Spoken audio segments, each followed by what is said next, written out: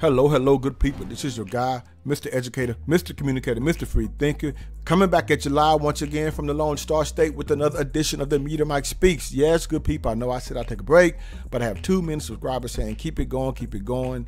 Um, it's really helping helping me. They're saying, look, um, I'm getting into it with coworkers sometimes, with my family members and friends about the jab, and this is good therapy for me because it's it's keeping me enlightened, keeping me hope about, you know, where this world is going. Is this real or not? Why is the big push, especially for uh, uh, people of color? So it's something we need to keep keep this this information coming in, good people. So I decided to roll up my sleeves and not take a day's rest and get to work. But the latest in, this is not breaking news. This is news here. Mr. Don Lemon, the CNN news anchor, I guess is what you call an anchor. You know, an anchor, you know, something holds you down. Anyway, so he goes on to say here no shot, no service. Unvaccinated people, I guess, shouldn't be allowed in grocery stores, sporting events, or work. No shirt, no shoes, no shot, no service. This is what he's calling for. Man, get the hell out of here with this. But anyway, we're gonna we're gonna talk about this. This this is gonna be short, people. But I had to I had to get this out for y'all to know what, what's what's coming. Now, take a look here.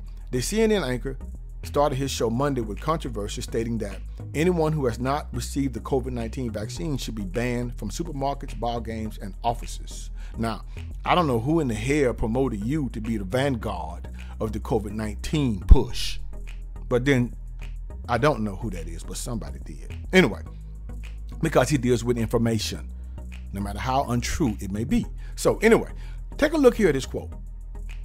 I'm sure a lot of people are not going to agree with this.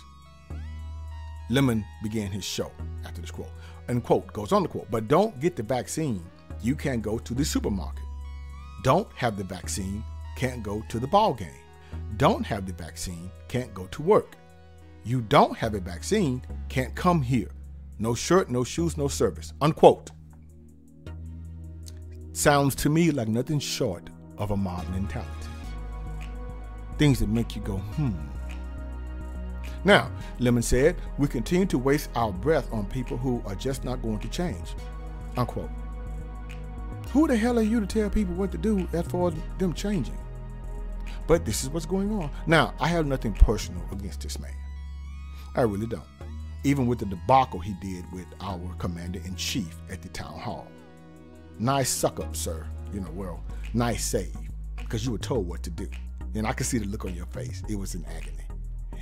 it was it was classic. You honestly, sir, sir, you looked embarrassed. You were really embarrassed.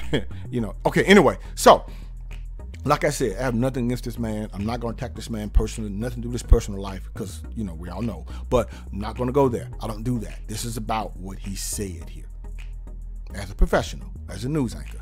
Nothing to do about him and what his choices are. So, and the way I see it on that point, oh, okay, he's the last one to talk. But anyway, let's go on here. The CNN host ranted. You know, circular logic, they just keep going back and saying, well, it's my freedom or whatever. It's my freedom or whatever. You're a news anchor and you saying or whatever. You using slang. Anyway, let's go. I'm free. Well, your kid is not free to give other kids meningitis in schools. Got to take a vaccine to do that. You got to take a vaccine in order to be employed. So what is the big deal? Unquote. Well, sir, this is not about meningitis. This is not about that. Period. Don't use that for this. okay, I thought you better than that, but I, I guess anyway. But you know, hey, you got your orders. I understand. You are following orders. Now, Lemon concluded that people who are concerned about what they put in their body are drinking alcohol and putting worse things in their body on the weekends. We know that, sir. Okay, so now we're attacking people who drink? Yes, they are. But you know, Don, or should I say, Mr. Lemon or Lemon, you want to be called that? Okay. Which, as we know, it's deemed to be sour. Okay, anyway, just saying, those people are doing it voluntarily. Let me repeat that voluntarily, sir not forced, sir, or should I say dude or homie? Okay. Now, if you are implying that drinking is contagious, then, well, let's just say I haven't heard that one. So stop it, bruh. Bruh, stop it. You don't sound too bright with this one.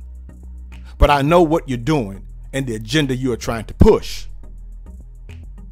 But anyway, that was just the Media Mic rant, good people, and bringing you the information. And sad to say, but that's it for today. And remember, if you have or have a bad day, make sure you are well prepared for what's to come so you can be okay. This is your guy, Mr. Educator, Mr. Communicator, Mr. Free Thinker, bringing you the information and keeping you well informed. Subscribe, share, and like to keep me rocking on the mic. Have a good night.